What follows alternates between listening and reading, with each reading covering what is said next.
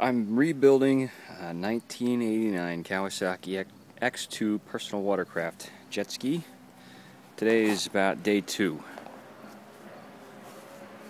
I've removed the engine because I had what is believed to be a lean seizure caused by a crankcase leak. I've got the engine sitting here under this plastic bag. And the front cylinder uh, ate its piston rings over here on the side and also on the back, which makes me suspicious of the crankshaft itself. So I'll be inspecting my crankshaft fairly closely. The bearings actually look pretty good. You can see them in there in between the two copper colored uh, pieces of the uh, of the crank arm there.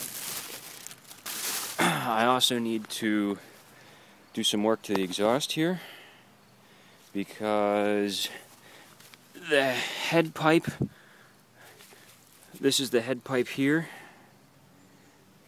and this is the exhaust manifold here, this lower part. This line right here is where they meet. And I've stripped two of the bolts and they actually uh, sheared out. And this third one right here is completely stuck, so I'll probably have to drill all three out to get them out. Uh, this could probably use some paint. This could use some paint because these stains don't want to come off. Uh, so I'll uh, paint that up and make it nice.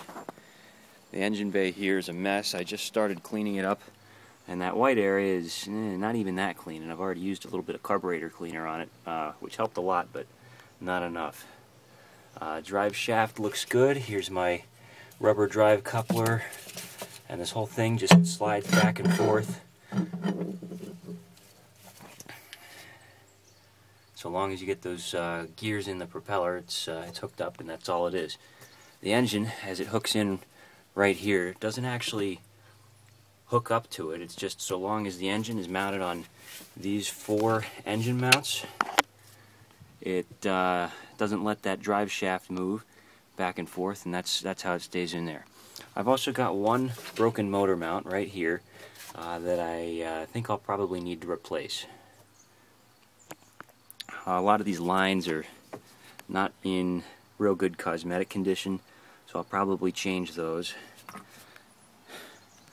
Uh, you can see in here I've got the stock water box, uh, which I'll probably take that out and drill it, but I do like it to be kind of quiet, so I, I won't be uh, replacing that with an aftermarket water box, even though I have one. I, I don't like the, uh, the noise. I think it sounds annoying. This here just needs a little bit of cleaning.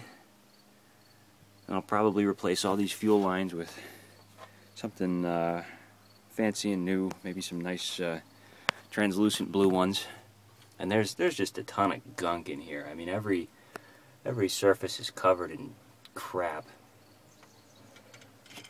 This is where the uh, previous owner had a bilge installed, but uh, as you can see, it's on the lower part of the hull and it's always submerged and that makes it real tough for it to clear out.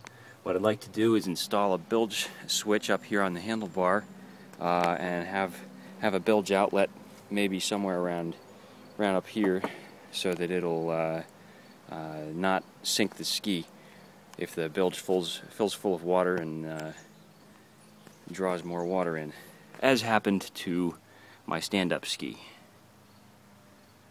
Now in the back, uh, previous owner had glued this on. I guess that's an alright place for it. This might need to be replaced. These wires are all just a mess. I mean, uh, this is not done tidily at all.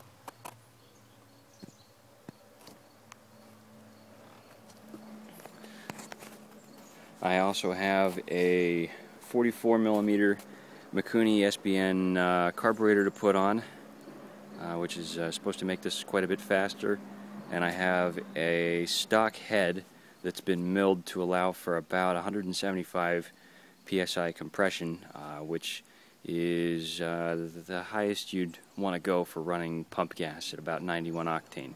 I'll be running 93 octane, uh, but it's good to have a, a little bit of a buffer in there in case the gas gets a few weeks old on me or anything like that.